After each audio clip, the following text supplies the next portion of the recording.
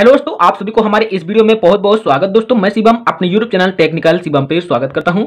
दोस्तों, आज इस वीडियो के अंदर मैं आपको बताने वाला हूँ ब्लॉक कॉल्स फ्रॉम स्ट्रेंगर यानी कि यहाँ पे आपको एक सेटिंग देखने को मिल जाती है।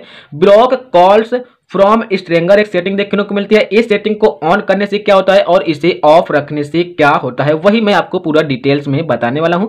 तो वीडियो थोड़ा ध्यान से देखना पड़ेगा, तभी आपको पता चलेगा कि आखिरकार इस सेटिंग से क्या होता है और इसे कैसे यूज़ किया जाता है। तो दोस्तों, चलो कर लेते हैं वीडियो को स्टार्ट वीडियो स्टार्ट करने से पहले हमारी एक छोटी सी रिक्वेस्ट है। वीडियो पसंद आए तो वीडियो को लाइक करें। चैनल पर पहली बार आए हो तो चैनल को सब्सक्राइब करके बेल आइकन ज़रूर दबाएँ। अब यहाँ पे आपको कनेक्ट है, अपने मोबाइल फ़ोन की सेटिंग को ओपन करना है। यहाँ पे आपको सर्च कर लेना है ब्लॉक लिस्ट, यहाँ पे आपको सर्च करना है, जैसे मैं यहाँ पे ब्लॉक, यहाँ पे मैंने यहाँ पे ब्लॉक लिख के सर्च कर लिया, यहाँ पे देखने को मिलेगा ब्लॉक लिस्ट, और आपको यहाँ पे उस सेटिंग पे क्लिक करना है, जिसमें आपको कॉल सेटिंग देखने को मिल जाए। आपको उस पर क्लिक करना है यहाँ से देखने को मिल जाता है कॉल ब्लॉक लिस्ट आपको इस पर क्लिक करना है। जैसे आप इस पर क्लिक कर लेते हो तो ये सेटिंग आपको यहाँ पे देखने को मिल जाती है। तो इस सेटिंग का मतलब क्या होता है? इस सेटिंग का अर्थ क्या होता है? और ये सेटिंग कहाँ पे लागू होती है? तो यहाँ पे देखने को मिल जाता है ब्लॉक कॉल फ्रॉम स्ट्रेंगर यानी कि इस सेटिंग का हिंदी अर्थ क्या है? यहाँ से देखने को मिलेगा। आपको यहाँ पे मैं बता देता हूँ।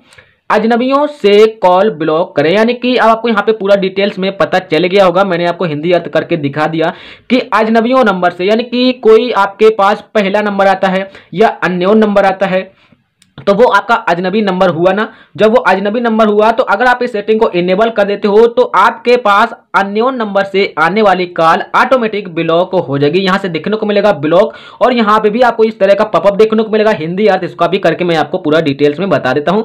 अजनबियों से सभी कॉल अवरुद्ध हो जाएँगे। यानी कि अजनबी नंबर से जितनी सारी कॉल आएँगी, वो सारी की सारी यहाँ पे ब्लॉक हो जाएँगी। अगर आप यहाँ पे इस सेटिंग को इनेबल कर देते हो तो अब आपको यहाँ पे पता चले गया होगा कि आखिरकार block calls from stranger setting से क्या होता है और इसे कैसे यूज़ किया जाता है। तो अगर आप इसे इनेबल करना चाहते हो कि हमारे पास यहाँ पे अन्य नंबर से कोई भी कॉल ना आए, अगर यहाँ पे आप इसे डिसेबल कर देते हो तो आपके पास अन्य नंबर से सारी की सारी कॉल यहाँ पे आपको रिसीव होती रहेंगे। तो इस तरह से अपने मोबाइल फ़ोन के अंदर इस सेटिंग को ऑन करके रख सकते हो। तो मैं आशा करूँगा आज आपको पूरा डिटेल्स में पता चल गया होगा। अगर आपको पता चल गया है तो वीडियो को लाइक कर दीजिए। चैनल पर पहली बार आए हो तो चैनल को सब्सक्राइब करके बेल आइकन ज़रूर दबाए। मिलते हैं नेक्स्ट वीडियो में। इस वीडियो के लिए इतना ही। वीडियो पूरा देखने के लिए आपका बहुत बहुत धन्यवाद।